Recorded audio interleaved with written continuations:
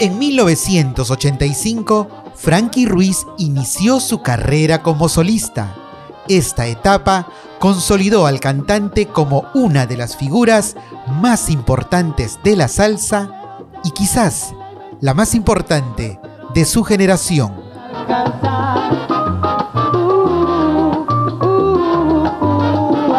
Hoy, en Salserísimo Perú, conversamos con la compositora puertorriqueña Gloria González, quien además de ser amiga personal del cantante, fue el artífice de éxitos como Amor de un momento, Me acostumbré, Solo por ti, No supiste esperar y Si no te hubiera sido.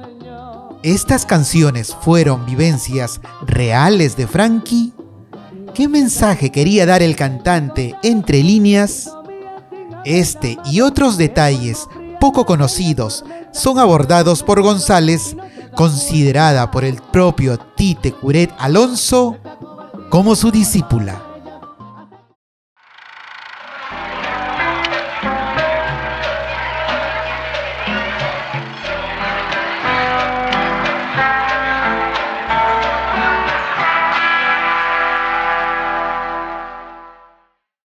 Hola amigos de Salcerísimo Perú, ¿cómo están? Los saluda Antonio Álvarez y en esta oportunidad me encuentro con Gloria González, compositora puertorriqueña, ¿no? Que eh, realmente escribió gran parte de los éxitos que tiene, que, que tuvo Frankie Ruiz. Y también ella eh, tuvo un papel muy importante escribiéndole los soneos al tártaro de la salsa. Hola Gloria, ¿cómo estás? Un gusto tenerte aquí. Hola, ¿qué tal Antonio? Gusto de verte.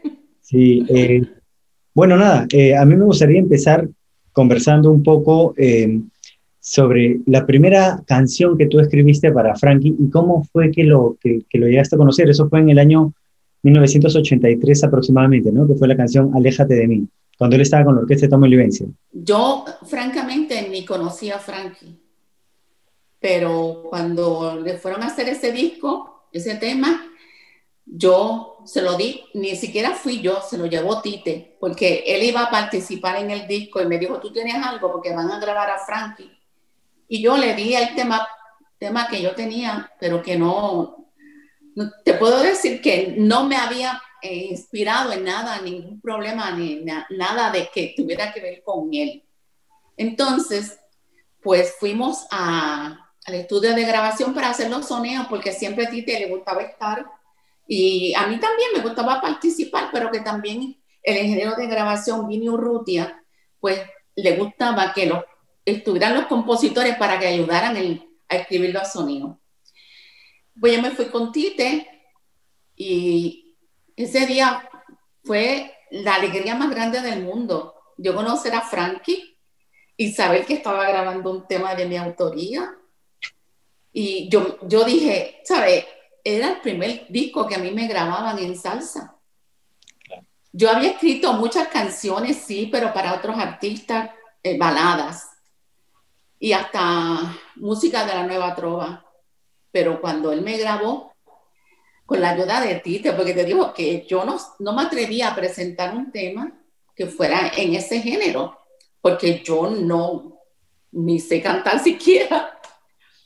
Pero de verdad que fue una, una experiencia agradable, una cosa, y, le hice lo del camionero, a mí me dijo en el estudio de grabación que estábamos haciendo el soneos, y él respiraba, yo le decía al ingeniero, mira, es que él está respirando y parte la palabra. y yo le dije, Frank, es que está respirando donde no es. Y entonces yo me inventé ponerle el sonido completo, corrido sin, sin que hubiera eh, una pausa ni que hubiera un espacio. Y él me dijo, tú estás loca, eso no se puede. Total, cuando yo se lo di, lo dije, le dije, no vas a parar, lo vas a decir corridito. Y después que lo hizo, me dijo, tú sabes, ¿ah? pero es que él tenía problemas también de, de cómo se había criado en Nueva York, allá en New Jersey. Pues tenía un poquito de problemas en, en la adicción es importante antes de empezar ya eh, la parte más profunda donde usted empieza a trabajar más de la mano con Frankie, que es ya su etapa de solista, es importante que la gente conozca eh, que usted tiene mucho la influencia, eh, bueno, y a quien usted considera su maestro, que es el, gran Tite Cureta Alonso, ¿no? Correcto. ¿Cuánto influyó él en, digamos, en su carrera como compositora, ya que usted escribía poemas? Y cómo es que él la llega a impulsar, qué es lo que le dijo Tite, eh, eh, o cuál la, cuáles eran las pautas que le daba usted para que usted finalmente se anime a escribir. Gracias a él yo estoy aquí. Gracias a Dios y a él yo logré ser compositora, porque cuando yo llegué donde él yo no sabía nada. Era tan ignorante que no sabía si era la, la, la sinfónica o el gran combo lo que estaba tocando. Y mira la diferencia mucha pero él me llevó y fue una mitad de 30 años. Él comenzó por decirme, escucha música instrumental. Trata de escuchar música instrumental. Y yo decía, sí, pero me decía, después me decía, tienes que cantarle. Yo, pero si yo no sé cantar.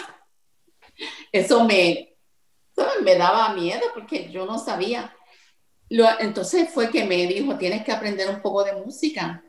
Y me apunté entonces en el Conservatorio de Música estuve dos años ahí, por lo menos para tener la apreciación musical, para conocer un poco de la música, porque él siempre me decía, para tú discutir con los arreglistas, tienes que saber de música, porque nadie puede hablar de lo que no sabe. Y yo lo que pasa es que yo fui una buena alumna, porque él tuvo muchos, muchos alumnos, pero yo creo que la más que fue más inteligente con, en la forma de enseñar fui yo.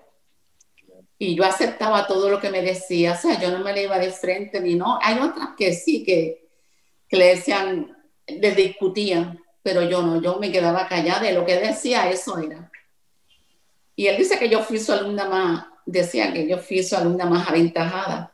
Sí, pues, bueno, eso él, él lo ha reconocido en, en varias entrevistas, ¿no? Sí.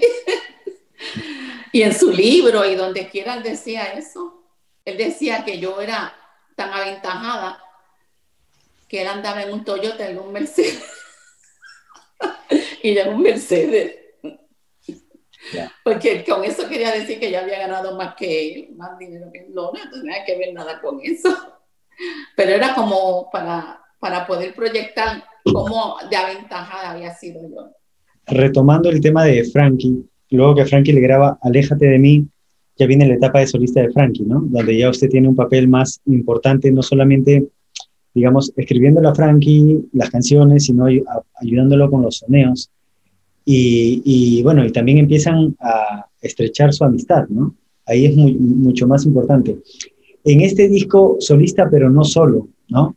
Eh, ¿Qué recuerdos tiene usted de, aquella grabación de Frankie? Usted siempre estaba presente cuando él grababa. Eh, a ver si me, si, me podría contar algunas cosas que, que, recuerde de, de, esa época. Bueno, como te he dicho en otras ocasiones, siempre que, que grababan, siempre me llamaban. Me llamaban a mí, llamaban a Tite, porque éramos los que íbamos a estar ahí y como decía Tite, tenemos que defender nuestros hijos hasta las últimas consecuencias que eran los temas para evitar que los sonidos no fueran en acorde con la letra, porque eso sucede mucho. Y después que el compositor oye dice, pero caramba, pero es que eso no va. Entonces nosotros íbamos y estábamos ahí todo el tiempo y veíamos cómo, cómo Frankie se desenvolvía. Él, no encuentro palabras para decirte porque Frankie era música. Frankie tenía un don tan, tan especial que yo no se lo he visto a nadie. A veces hacía cosas en, ahí, en, el, en la cabina, que todos nos mirábamos de asombrados que estábamos, hacíamos así, abríamos los ojos y me decía, Vini, ¿qué es eso? ¿Qué fue eso? Yo no sé. Y le decía, oye, Frankie, repítelo. Y él le decía, ¿no lo cogiste? Pues se fue. Ya pasó. Era increíble es que él tenía un, don en la música. Y era como una fiesta, siempre estábamos ahí con en el estudio con él y oyéndolo los chistes que él hacía, porque era como un niño humano, como un niño travieso. A mí me daba trabajo creer que, que, que tuviera un problema de adicción, porque no, no se le notaba. Eh, justo en una entrevista Eddie, a Eddie Santiago, Eddie Santiago, que por esa época también se puso de moda, él cuenta de que, de que él tuvo muchos colegas, pero de que el único colega al cual eh, él podía, eh, se quedaba impresionado cada vez que abría la boca era Frankie Ruiz. O sea, él, él, cuenta que ellos estaban en un concierto y de repente todo el mundo estaba normal mientras que, mientras que estaba un cantante X, ¿no? pero cuando Frankie subía a la tarima y se ponía a cantar, dice que todo el, mundo, todo el mundo solamente podía mirarlo, que era lo único que se podía, porque era, era espectacular su manera de desenvolverse, su voz, ¿no? Era un showman, ¿no? Él, hacía cosas con su voz que nos sorprendía. Yo misma, eh, ese amor de un momento, había una nota que me daba trabajo. Y él lo cogía de arriba abajo lo oía, lo escuchaba una vez, porque esa era otra. A él le mandaban el demo para que él lo escuchara. Y cuando llegaba decía, Frankie, ¿te aprendiste los temas? Claro, claro, desde que tú me lo llevaste, desde que tú me lo enviaste. Pero me decía y me decía, ¿tú se lo crees? Este ni ha visto el tema. se ponía, escuchaba eso y cuando lo cantaba, lo cantaba perfecto. De arriba abajo. Yo le escribía los soneos. Yo escribía. Él ponía, él ponía la música. O sea, él, lo, lo cantaba. Ninguno igual. Ninguno era igual. En todos los, en todos los discos, en todos los temas, ninguno era igual. Una cosa, y, y nosotros decíamos que, que, que Frank era especial. Hay, un detalle eh, que, me gustaría mucho que lo cuente a los fanáticos, que es eh, en la canción Esta cobardía. Al inicio de la canción Esta cobardía hay un tonito, una entonadita ahí que se hace y que eh, siempre cuando uno escucha la canción de arranque y escucha esa entonadita por Frankie, la gente inmediatamente saca qué canción es, ¿no? Pero que es ese famoso uh, uh, uh, del inicio, ¿no?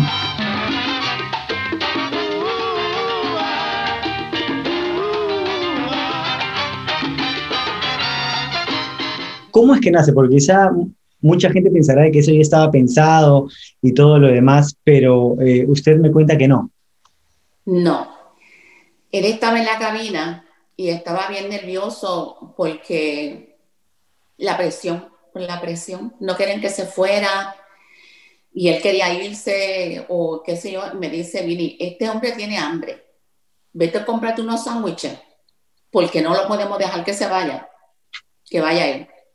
Y yo compré unos sándwiches en una cafetería que había allí cerca. Y cuando entré al estudio, están escuchando el tema, lo que él había grabado. Y entonces yo aguanté la puerta, abrí la puerta del estudio, la, la aguanté así. Cuando oí la música, entonces entoné eso. Uh, uh, uh ah. Y él me dijo, eso va, eso va. Y entonces, fíjate que también en, en un tema de, de Cheo Feliciano también hice lo mismo.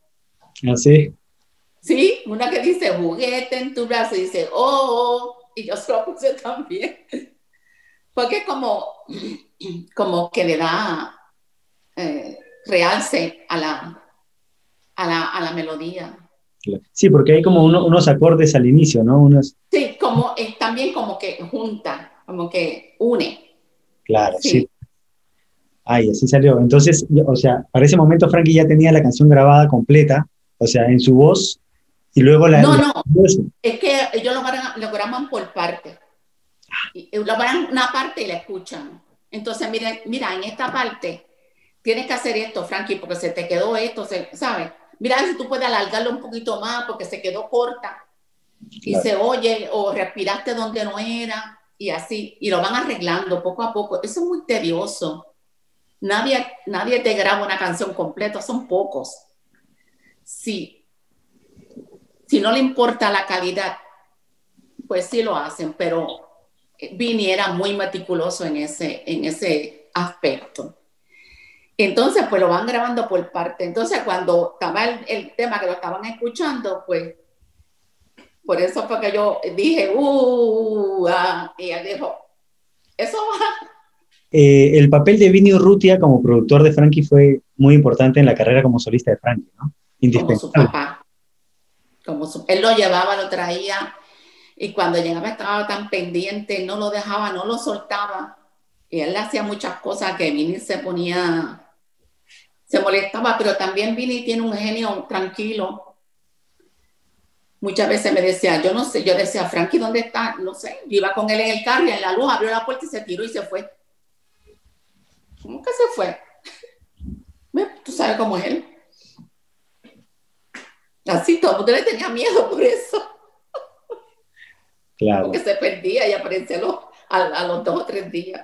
Claro. Y, por, por, ejemplo, grabaciones del disco, por ejemplo, este solista, pero no solo, que es del año 85, ¿en cuánto tiempo se terminaba una canción? O sea, ¿en cuántos días o cuántas semanas se terminaba de grabar, digamos, la voz de Frankie?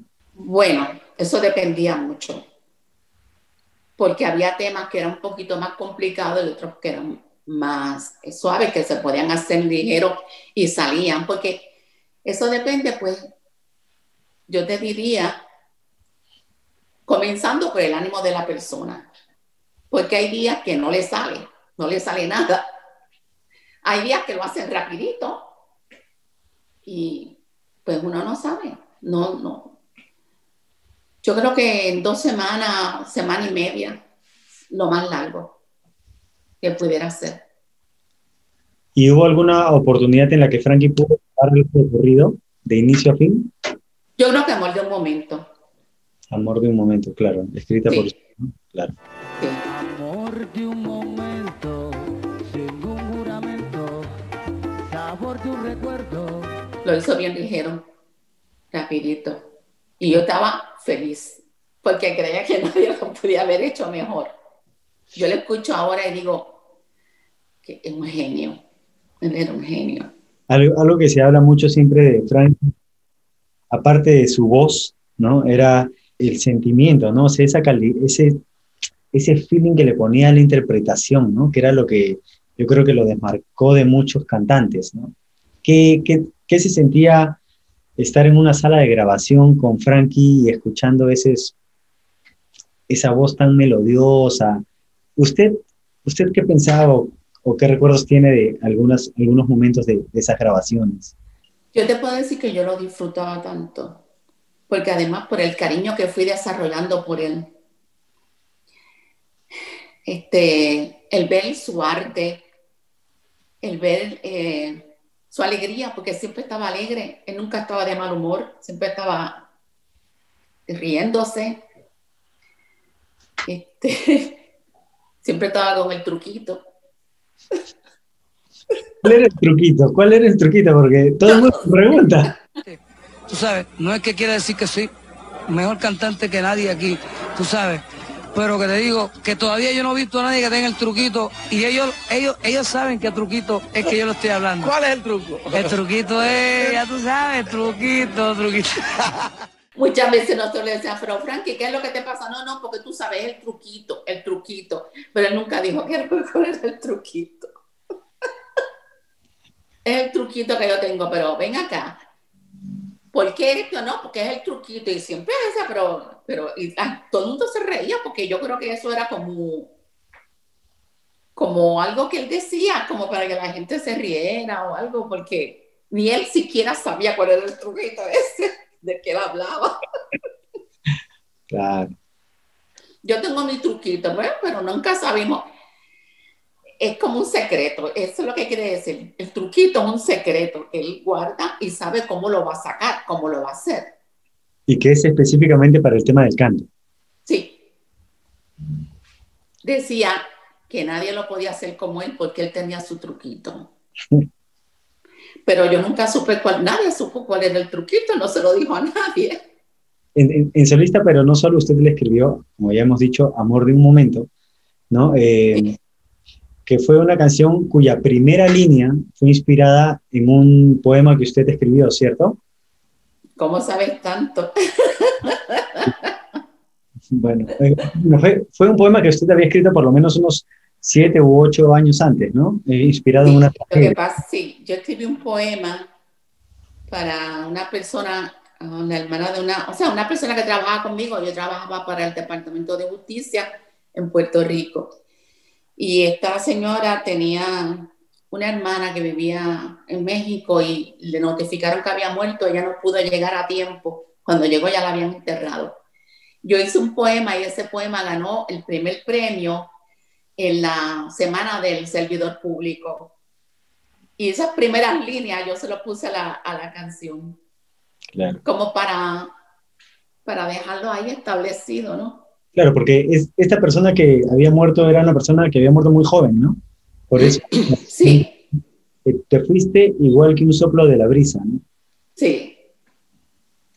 Así mismo. Ahora, luego de, Solista pero no solo, vino el álbum, eh, el disco Golpe Encima, ¿no? Donde ya usted escribió eh, dos canciones para Frankie. ¿no? que fueron Si no te hubiera sido y No me hables mal de ella. En el caso de Si no te hubiera sido, o sea, ya el primer disco de Frankie fue un super éxito, ¿no? Su primer disco como solista. Eh, ¿Cómo eran las expectativas ya para esta segunda producción de él? O sea, ya con muchos contratos para presentarse, eh, quizá había una mayor exigencia por, por seguir creciendo, ¿no? Lo que decía Mimi, y lo que se comentaba para aquel entonces, ¿verdad? Que era este, TH Rodben, todavía no era Unimúsica, este, Universal, era que nunca habían visto cosa igual. Que Frankie había logrado lo que no había logrado ningún salsero, solito él. Se presentaba y no cabía la gente. O sea, no había que tener nadie más. En, este sitio donde se hacía presentación, un baile, lo que fuera, él llegaba y acababa. Claro. Y pues que cada día eh, como que se superaba. Su fama iba ganando, ganando, ganando. Iba ganando más fama cada día. Aunque, pues, ¿sabes? Como conocemos todo, era un poquito incumplidor, irresponsable, porque, pues, se comportaba como como decía yo siempre, el niño malo. Aún así, ganaba tanta fama y seguía ganando tanta fama, inclusive aún así con, con los comentarios que habían negativos de él. Siempre. Y la gente lo adoraba, todo el mundo lo adoraba. Aquello fue como, como creciendo, ¿no? Claro. Y ya de ahí fue que salió, surgió el nombre del papá de la salsa de ahí fue que surgió, en ver que, como que, como dicen por ahí, el papá de los pollitos o la mamá, pues eso es lo que quiere decir el papá de la salsa, como que él estaba al tope. ¿Y usted recuerda de dónde salió ese nombre o, o quién lo habría puesto? Pero bueno, pero fue más o menos ya por el 85, 86. Sí, ya para el segundo, ah, para, el, segundo disco de solista como no solo, como, como, pero no solo, ahí fue que comenzó Claro, el, así. Claro, el primer disco es solista, pero no solo, y el segundo fue Voy para encima, ¿no? Que ya desde el 87. Justo eso es algo que me comentaba mi Viti también, ¿no? Me decía que llegó un momento en que Frankie vendía hasta más que el propio Gran Combo, ¿no? Que, era, que es la mayor institución de la salsa en Puerto Rico, ¿no? Él se llevó el platino. Se llevó el platino. Una cosa increíble. Yo no creo que. Yo no sé si Mark Anthony ha logrado con, ¿sabe? Poner así, ir por encima de lo que hizo Frankie. Claro. Aunque Frankie no era dramático, como, como Mark Anthony. Pero no sé, era la voz, era la voz. Y, había algún, en el caso, por ejemplo, ¿no? Eh, eh, citando a Si no te hubiera sido, eh, Frankie le hacía algunos pedidos especiales sobre sus canciones a usted, o sea, cómo, quería, cómo quería él que sean, que, que, suenen por donde vaya la letra.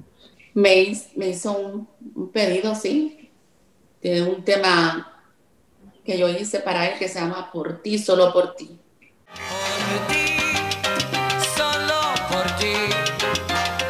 Hoy mi vida cambiaría de repente.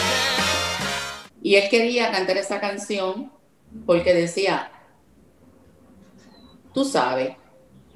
Y él decía, no, yo no sé nada.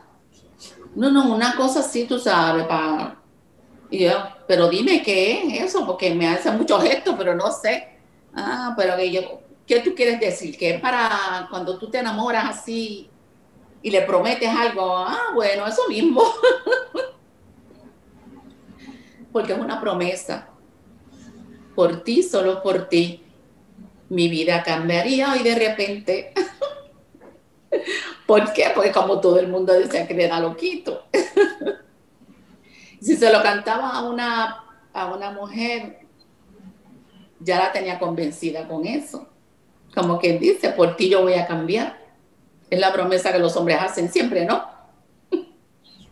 Y en este, eh, ya eh, solo por ti, ¿no? Que es este, ya del disco en vivo y a todo color. Por esa época más o menos, Frankie eh, empezó a tener un poco de problemas con las ventas de los discos, ¿no? Creo que empezó a tener problemas con su voz. Willy Sotelo, que actualmente es director del Gran Combo y que en esa época fue director de la orquesta de Frankie Ruiz, él, él me comentó de que sí, ese disco como que le costó un poco pegar, ¿no? Quizá como los dos discos anteriores solistas de Frankie. Eh, ¿Usted recuerda algo de, de esa época, de cómo estaba Frankie físicamente? Yo pienso que por esa razón, porque era muy incumplidor. O sea, tenía que tener los discos eh, uno al año, por ejemplo. Pero la demanda era tan fuerte que ellos querían tener más de un disco al año. Y se le, co- le costaba trabajo poderlo tener, aguantarlo para poder hacer los discos, hacerlo, grabarlos. Porque recuerda que él siempre vivió en Miami. Él nunca vivió en Puerto Rico después que cantaba. Él se quedaba algunas temporadas en Puerto Rico en lo que hacía el disco y visitaba a su abuela allá en Mayagüez y compartía, pero siempre regresaba a Miami porque él vivía en Miami.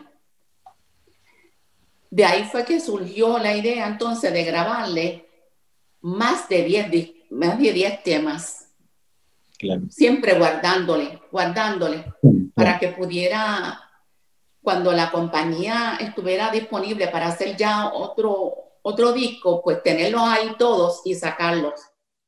Cogía de distintos que habían guardado, dos aquí, tres allá, y hacían un disco, Claro. aunque no estuviera. Bueno, fue algo como que premonitorio también, ¿no? Porque ahí nomás sucede el, el- el incidente este en el avión, eh, Frankie va preso. ¿Qué recuerdo tiene de, de esa, de, de esa época, no? Asumo, usted ya eran, eran eh, ya, no- ya no solamente compañeros de trabajo, sino ya eran amigos, ¿no? O sea, ya, ya había un vínculo entre ustedes. Eh, ¿Cómo les cayó esa noticia cuando se anuncia de que Frankie había tenido este problema, que tenía que ir preso? Yo prácticamente me desesperé mucho porque era mi mejor intérprete. Porque prácticamente este, era, ¿cómo te diría? Ahí era que yo ponía mi trabajo, más bien. Había otros que grababan, pero sí, Frankie era mi intérprete principal. Al no estar él, pues para mí era difícil. Era difícil porque siempre estuve en solo un disco, no estuve yo presente, que lo hice en Miami, pero en todos los demás estaba yo. Entonces yo pensaba, ahora este hombre preso, pero ¿por qué hizo eso? ¿Sabes? Me desesperaba, pero no había forma de comunicarme. Sin embargo, cuando él estuvo preso, mi hija vivía en Miami y mi hija era quien lo iba a ver a él. Ahí Ah. conoció ella a Judy. Sí. Con decirte que muchas veces él se quedaba en casa de mi hija. Mi hijo y mi hija vivían juntos en Miami. Mi hijo vivía con mi hija. Y él se quedaba allá porque él decía que se sentía feliz y porque sentía paz. Cuando tenía discusiones con Judith, se iba para en casa de mi hija con, con mi hijo y con el marido de mi hija y la pasaban allá de maravilla. Se bañaba en la piscina, estaba con los niños. No sé, eso fue después que, que él grabó el, el último disco antes de irse para, para la cárcel. Pero, de- o sea, después que salió de la cárcel también iba. Claro. Pero mientras él estuvo así, para mí fue una época negra. Pues yo no veía la hora. No, ¿Cuántos años tuvo? No recuerdo cuántos años tuvo. Tres Cuatro. años. Cuatro, creo. Sí, cuatro años. Sí. Justo a, a propósito de lo que usted cuenta, esto de que empezaban a, eh, que en cada grabación grababan canciones de más, justamente esto ayudó mucho para mantener la popularidad de Frankie, ¿no? Porque justo cuando él ya estaba, cuando él estuvo preso, eh, ahí es que se saca este disco más grande que nunca, ¿no? Sí. Y, y luego cuando usted alguna vez fue a visitar a Frankie a- allá a la cárcel, No, no, no, porque él en Puerto Rico estuvo muy poco tiempo. Y cuando llegó él era una fiesta ya. A él lo trataron como un rey cuando llegó a la... o sea, es, es, es- luego de cerca de tres años que lo mandan a la media casa, ¿no? Se va de Miami, se va a Puerto Rico, ¿no? Cuando lo mandaron a la media casa, lo mandaron a Puerto Rico para que hiciera ese disco, Mi Libertad. Claro. Mientras tanto, él corrió como dos o tres cárceles. Estuvo en Miami, estuvo en Fort Lauderdale. No recuerdo si estuvo en otra, pero por lo menos estuvo en Fort Lauderdale y estuvo en Miami. En esas dos. Cuando estaba en Miami, mi hija no iba a ver. Ah, claro. Yo nunca, porque yo no vivía en Miami, yo vivía en Puerto Rico en esa época. Yo nunca lo fui a ver a la, a la cárcel. Por esa razón. Cuando estaba en, media, en la media casa, sí, yo lo buscaba en el estudio de grabación y nos íbamos a comer, lo llevaba a comer, que era bien difícil porque todo el mundo se le tiraba encima. Y, y ese reencuentro con Frankie después de la cárcel, ¿cómo, cómo fue? Ay, un amor, un amor, un amor de verdad. Me acuerdo que estaba grabando este eh, Mi Libertad, ese tema. Cuando yo empujé la puerta, porque me llamó Vini y me dijo, aquí está tu nene. Y yo empujé la puerta y cuando lo vi me dijo, mami. lo abracé. Ay, Dios mío, sí. Vino bien guapo, bien fortachón, con muchos músculos. Me decía, yo, yo hago ejercicio, yo estaba haciendo ejercicio, yo estoy entero, mira cómo estoy, bien orgulloso. Y nos fuimos a comer ese día. Yo le dije a Frankie, no sé si te lo había contado, que ese día nos sentamos a comer en un sitio y empieza a hablarme de su mamá. ¿Sabes? Muchas cosas de que, que le habían pasado y que él, lo que él sufría. Y se tomó una copa de vino y yo le decía, no puedes tomar vino, no puedes tomar nada, nada.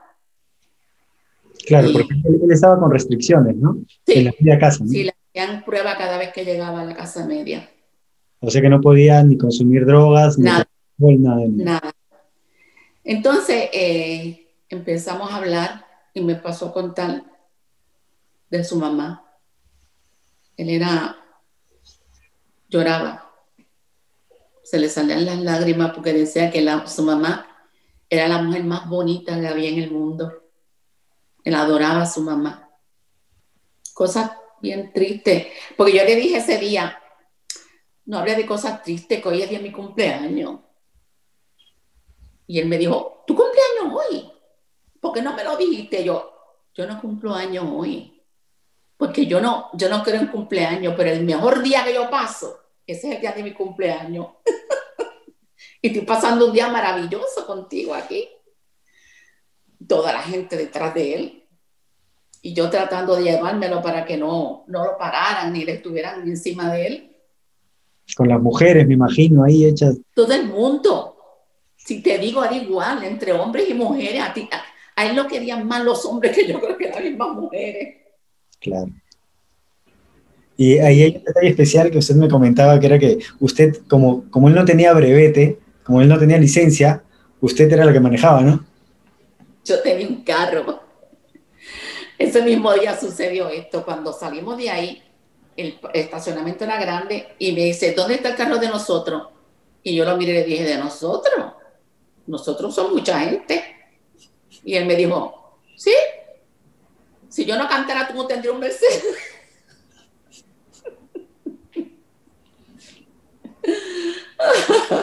Con lo que quería decir que el carro mío era de los dos, pues porque, porque él cantaba. Era el que me había dado más dinero para comprarlo. Qué bueno. Ay, era tan cómico él. Bueno. Tenía cosas, unas salidas que tenía. Yo le dije, es verdad, tú tienes razón. Porque con él yo gané mucho dinero. Sigo ganando. Claro. sigo ganando porque todo lo que se, eh, se baja del internet, los discos se siguen vendiendo y lo que se escucha en la radio, más aún en Sudamérica, ¿no? Sí, sí, acá sigue más vivo que nunca. Lo, a mí me pagan por eso. Me paga ASCAP y me paga, es el, cantante que más dinero con el que más he ganado. Y cuando Frankie grabó Mi Libertad, la, gra- la grabación puntual de ese tema, ¿cómo vio usted su voz? Perfecta, mejor que nunca. Quiero cantar de nuevo, caminar y a mis amigos buenos saludar, pidiendo otra oportunidad.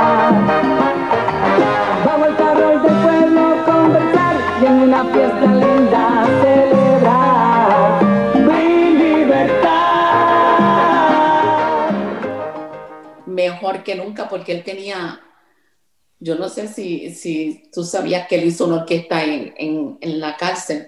Sí. Sí. El Y él cantaba y hacía fiestas. Se lo permitían. Y porque ahí están los mejores. Y dígame, luego de Mi Libertad, ¿esa fue la última vez que usted estuvo en un estudio de grabación con Frankie? ¿O, o volvió a repetirse en alguna otra oportunidad? No, eh, esa fue la última vez, creo. Porque luego él se fue para Miami y de allá cuando regresó, que ya tenían todos los temas para, para grabar, ya vino eh, enfermo. A él lo tuvieron que entubar en Miami y le lastimaron las cuerdas vocales. Algo horrible. La gente cree que, que por alguna otra razón fue que él perdió la voz. No. Fue que él lo entubaron y él eh, le dañaron las cuerdas vocales. Claro, eh, creo que él se puso mal después de una presentación, ¿no? Y se lo tuvieron que llevar de emergencia, si no me Sí. equivoco, a una clínica y ahí es donde, donde lo Sí. tienen que intubar, este... Bueno, porque como, como dice Viti, ¿no? Si no se hubiese muerto, ¿no? O sea, era, era la única salida. Sí. Y después se empezó a recuperar, pero ya no podía cantar. Horrible. Horrible. Cuando fue a grabar no podía y lloraba y le pedía a Dios, devuélveme la voz. Dios mío, devuélveme mi voz. Bien lastimoso eso. Claro, esa es en la producción donde está Vuelvo a Nacer, ¿no? Ya su- Ahí tenía un tema mío, ahí tenía un tema mío. Que me lo grabó otro muchacho, vine y se lo dio a otro muchacho. ¿Cómo se sintió usted o en qué circunstancias usted se enteró de que Frankie estaba enfermo? De que ya, o sea, de que tenía cirrosis. Yo no sé qué enfermedad era la que tenía Frankie. Se dijeron muchas cosas, pero yo no tengo a ciencia cierta de que murió él. Hay muchos comentarios. Sí que se puso algo como que era de cirrosis, pero quién sabe, ¿verdad? No se sabe. Entiendo que pudiera ser también sí de cirrosis por, porque tú sabes que todo lo que tú ingieres, tomas, bebes, este, comes, todo lo procesa el hígado y que el hígado se afecta. Así que, no sé, no sé pero sí que me decían que estaba enfermo. Cuando yo vi que había un periodo largo donde no había discos, este, pues ya yo preguntaba, ah, no está enfermo, está enfermo. Nunca me dijeron qué era lo que tenía. Y yo no tenía comunicación con, con su esposa, con Judith. Para mí era difícil eh, eh, llegar hasta ella. Solamente supe cuando él vino, cuando él vino a ponerle la voz. Claro, porque esa última grabación se hizo en Puerto Rico, ¿no? Sí, en Vini, allá cuando pasó eso, yo vivía ahí mismo, en donde mismo vivía Vini, donde estaba el estudio de grabación. Pero el que me dijo así era Willy. Willy ¿Sabes? Soto. Willy era mi vecino. Willy y yo nos conocemos hace muchos años. Y en- para, pues, pues, sobre todo que era también mi vecino. Luego de la grabación de Mi Libertad, retrocediendo un poco en el tiempo, ¿volvió a encontrarse físicamente con, con Frankie? ¿Volvió a verlo alguna vez? No, nu- nunca más. No. O sea que ella fue... Lamento mucho que, lamento mucho que no pude verlo antes de morir. Mm, Lloré mucho cuando él murió, por las noticias todo el tiempo, y estaba muy afligida. Y me llamó Willy y me dijo, yo no voy a ir allá a Mayagüez, porque Willy también es de Mayagüez. Yo no voy a ir a Mayagüez, pero después él fue, yo le dije, si tú vas, me avisas pero también estaba molesta porque sentía que había tanta hipocresía.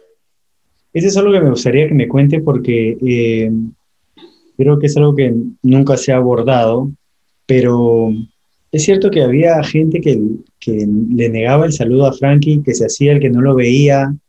eh, ¿Y por qué? ¿Por qué pasaría eso? Por lo mismo, por la cuestión de las drogas. No, parecía que ellos eh, creían que era perjudicial su amistad o que los tuvieran juntos. Si los saludaban, los saludaban de lejos y eso era lo que él me decía a mí. Lo que Frankie me decía a mí. Me dijo una vez, el único amigo que yo tengo es Trico. Tricoche, Héctor Tricoche. Ese es mi amigo, me decía mi hermano. Pero no me dijo, ¿sabe? Todos son hipócritas, me decía.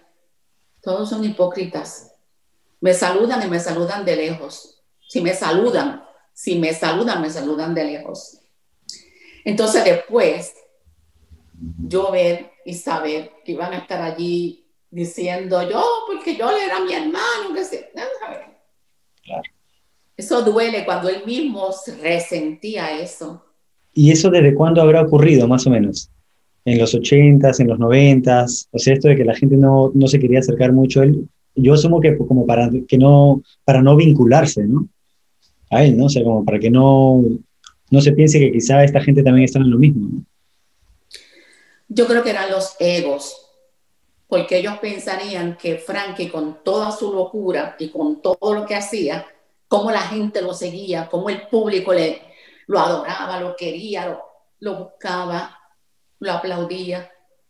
Y ese, el- las personas pensaban, digo, yo no, como que ah, eh, una persona con ese problema de droga y mira cómo está la gente, ¿sabes?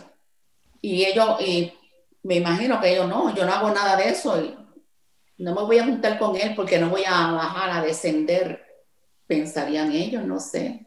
Eh, Gloria, si te pido un recuerdo o el momento que tú más, que siempre se te venga a la mente con Frankie, ¿cuál sería? El día que fuimos a comer juntos. Porque yo le compraba comida para que no saliera cuando estaba en el estudio, la compraba y la traía. Pero ese día vine y tenía que hacer algo y me dijo, llévatelo por ahí, porque tiene hambre para que coman. Y entonces me lo llevé a comer. Nos sentamos en una mesa en el restaurante, sin prisa, hablando de todo. Y me habló, digo yo, con el corazón abierto de todo. Me habló de los amigos, me habló de su mamá, me habló de todo. Del tiempo que vivió en New Jersey. Ese es el recuerdo más grato que tengo de él. Esa, aquella vez fue que le habló de la, de la verdadera Chi- Michina Ruiz, de, la verdadera Michina.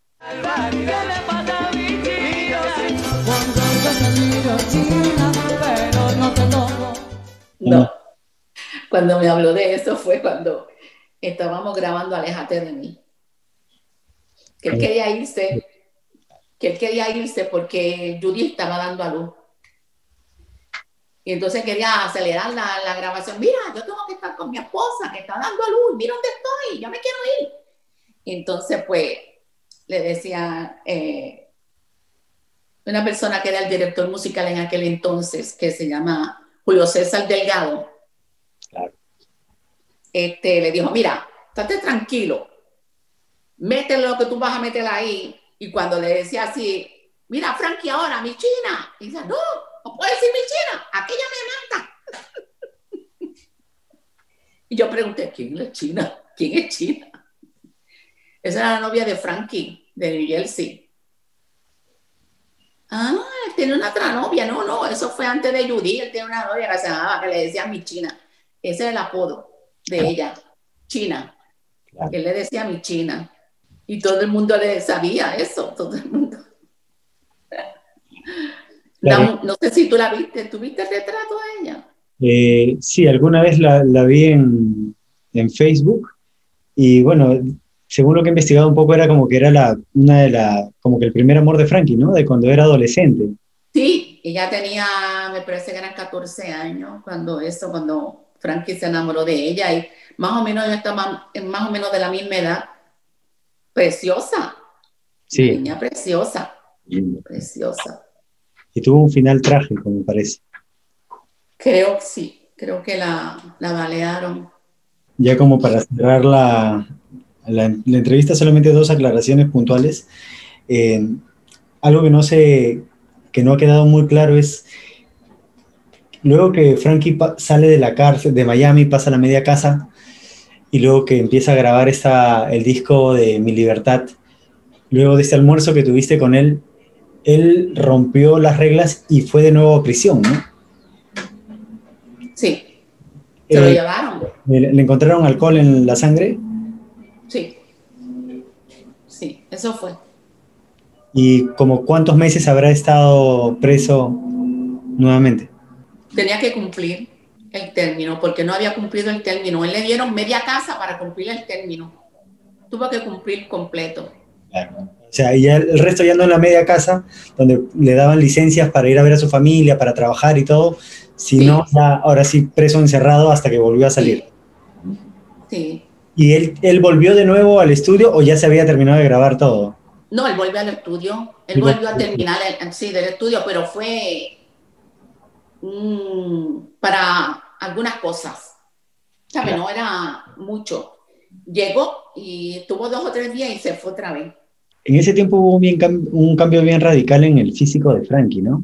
Porque Frankie sale de la cárcel cuando va a la media casa, o sea, estaba fortachón, pero de ahí su, su, hay una caída así muy rápida, ¿no? Se empieza a adelgazarse. porque fue cuando se enfermó. Cuando él terminó la, por, la cárcel y vino a Puerto Rico, estuvo tres días ultimando los últimos, el último de la, de la grabación y regresó. Él no volvió a Puerto Rico más hasta que se enfermó y le vino a poner la voz a los temas, pero ni Vini ni nadie sabía el problema que él había tenido con la voz. Si usted tuviera que, digamos, que resumir el significado de Frankie Ruiz en la, en la carrera de Gloria González, eh, que, es, que es muy amplia, hay muchísimas canciones, eh, ¿cómo, ¿cómo podría usted resumir a Frankie? Es responsable de que yo haya podido trascender como compositora. Todo lo que él cantaba lo hacía éxito. No hubiera sido lo mismo con otros artistas. Eh, ¿Es su mejor intérprete? ¿Sí? Cerrado, como se dice. Sí, Y- sin que me quede nada por dentro, te puedo decir que sí. Porque él impartía algo a los temas que yo le escribía que que uno quedaba satisfecho, contento cuando los escuchaba. Decía, nadie lo pudo haber hecho mejor. Y cuando usted, usted escucha actualmente o en la actualidad alguna de sus canciones, eh, asumo que vendrán los recuerdos que aflorarán, pero rápidamente. Sobre todo lo del camionero, cuando yo no lo conocía, que yo le hice lo- los soneos, yo los escucho y digo, ahí estaba yo y él estaba ahí. Y siempre como ahora, me dan ganas de llorar. Porque para mí fue una pérdida bien grande, bien grande. Yo era su admiradora. No era tanto su compositora, sino que yo admiraba su trabajo, lo admiraba a él. Entonces perdí al mejor intérprete, perdí a mi ídolo, perdí hasta cierto punto el cariño que tenía como si fuera un hijo. Siempre me decía, mami, yo le, siempre me decían, mira, llegó tu nene. ¿Sabe? Fueron muchas cosas las que perdí con su muerte. El día que mi amiga fue a la tumba y le puso las flores, yo lloré muchísimo. Que fue reciente, ¿no? Sí, la semana pasada. Ella tiene familia en New Jersey, fue a visitar a su familia. Y yo le pedí de favor, ella vive, ella, la familia de ella vive bastante retirado de ahí, de, de Patterson. La familia de ella vive en Elizabeth, como, es como una hora y algo para llegar hasta el cementerio. Yo le pedí de favor, ella se llama Mari, Mari, por favor, llégate hasta la tumba de, de Frankie, porque para mí es bien difícil llegar hasta allá porque yo no voy a hacer un viaje para la tumba este, y llevarle flores de mi parte. Habla con él, dile que lo quiero, que lo recuerdo. Por eso ella fue y llevó las flores y también puso un tema mío, Sí. Amor de un momento. amor de un momento. Y Gloria, ¿cómo, cómo para la gente que no, que no conoció a Frankie y que solamente es su ídolo o es una leyenda de la salsa, eh, ¿cómo podrías eh, describir a Frankie en pocas palabras de cómo era él en persona?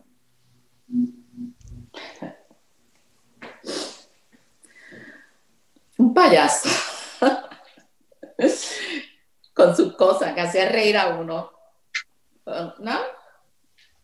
Una persona alegre, contenta y que siempre se estaba riendo y que decía las cosas a mitad para que tú interpretaras lo que te diera la gana. Como eso del truquito y este y entonces siempre decía mucho, tú sabes, tú sabes. Yo no sé nada, si no me lo dice, ¿cómo lo voy a saber? ya le decía. ¿Tú me entiendes? No, no te entiendo, tienes que decirme, Frankie. y con esas cosas hacía reír a uno. Y era, era súper humilde. Frankie era pueblo, un muchacho de la, de, de- de- del público, una persona que se daba a querer mucho y nunca él se le esquivó a la gente. No, con él no se podía caminar porque él iba a todo el mundo y saludaban y lo echaban y le echaban el brazo y él se lo echaba también. Fue, yo, no, yo creo que él nunca pensó que era un artista de, de ese calibre. Creo que nunca se lo creyó. ¿Y por qué crees que, que pasó eso? ¿Por cómo se comportaba? ¿Por cómo, por cómo era? Yo creo que él vivía en su mundo. Él era Frankie, nunca se creyó que era un cantante, nunca se creyó que era un artista, y él vivía en un mundo como, un adolescente. Claro. Bueno, y, y en, en esa vida también lo de su mamá creo que lo afectó muchísimo. Muchísimo, porque yo lo vi llorar ese día que estábamos en el restaurante y hablaba y volteaba la cara y volvía y miraba y con las lágrimas me decía, yo extraño tanto a mi mamá, siempre la he extrañado. Yo creo que fue el único momento que yo vi a, a Frankie triste, triste, ¿sabes? Con un sentimiento profundo.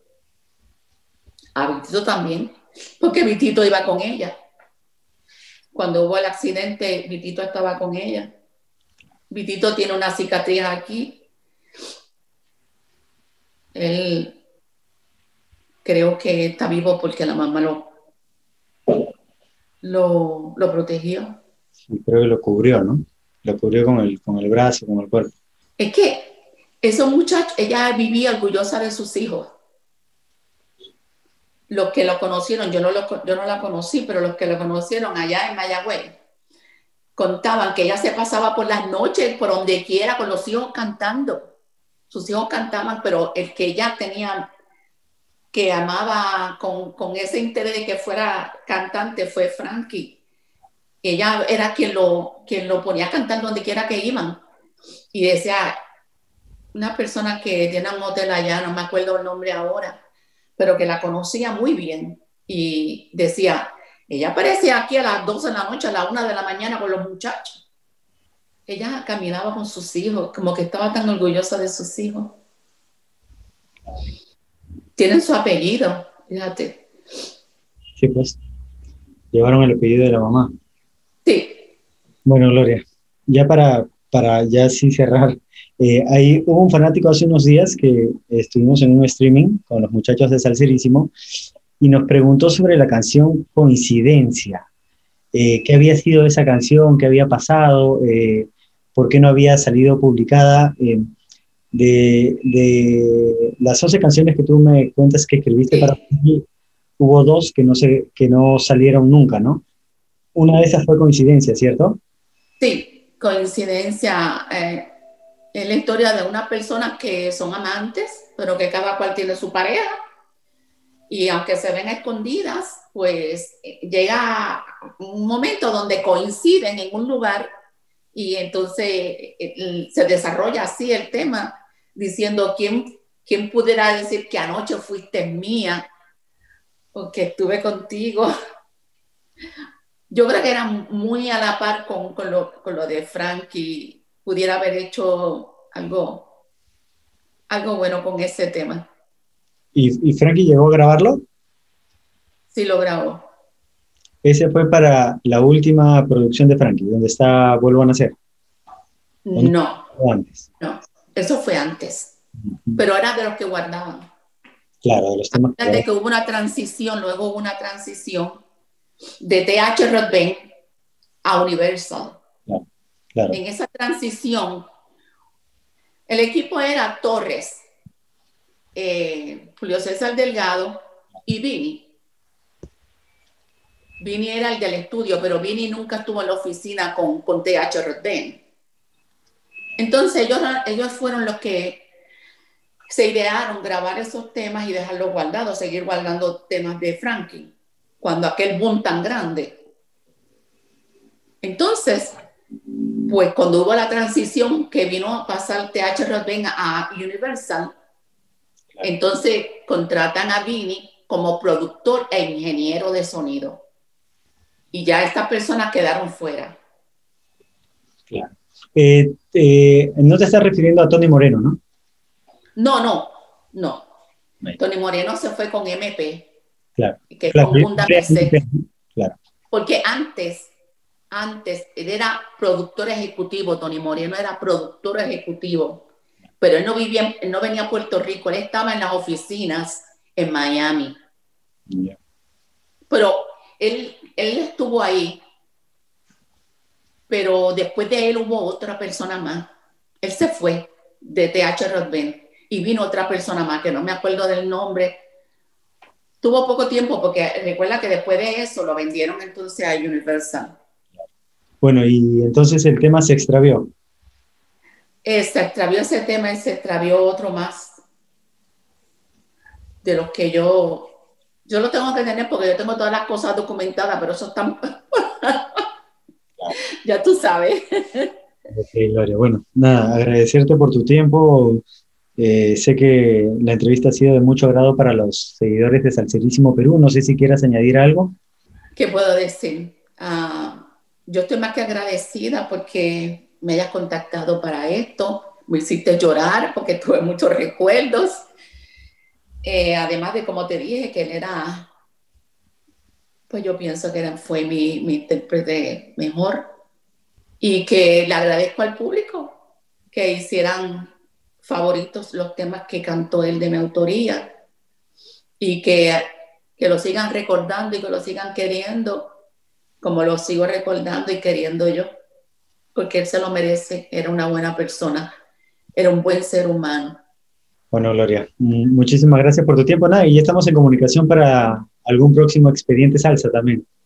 Sí, aquí estoy a tu orden. Cuando no lo sé todo, pero hay cosas que sé, en cualquier cosa que sepa y que te interese, pues cuenta conmigo. Ok, Tú muchísimas sabes lo que pasa, que hay muchas cosas cuando uno está en los estudios y está relacionándose con, con los otros compositores, con músicos, con arreglistas, con, pues uno como que está, vamos a decir, ahí dentro de la olla, que ahí se cocinan muchas cosas.